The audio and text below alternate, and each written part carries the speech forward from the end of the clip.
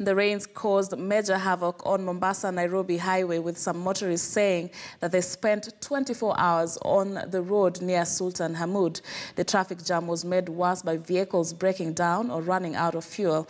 Those who tried using alternative routes also got inconvenienced on muddy feeder roads.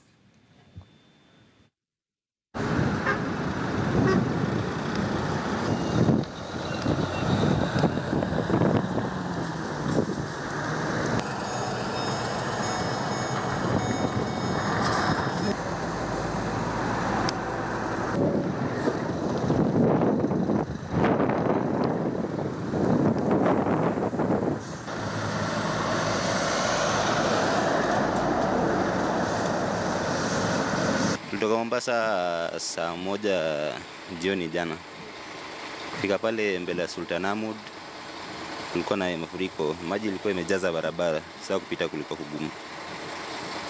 Sasa imekuja kuja hivyo hadi mbele, fika huko Sultan Ahmud ndo maji ilikuwa imenini, ilikuwa nasukuma magari hata kwa mtaro kando. Mvua imenyesha sana, jamming ime- jamming imekuwa nyingi mpaka bridge imevunjika. Tumekaa masaa hapa, tuomba serikali at least ishughulikie masala haya.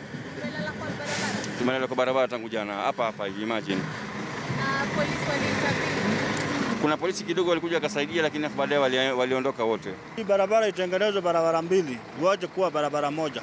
Hii jambo hawezi ija.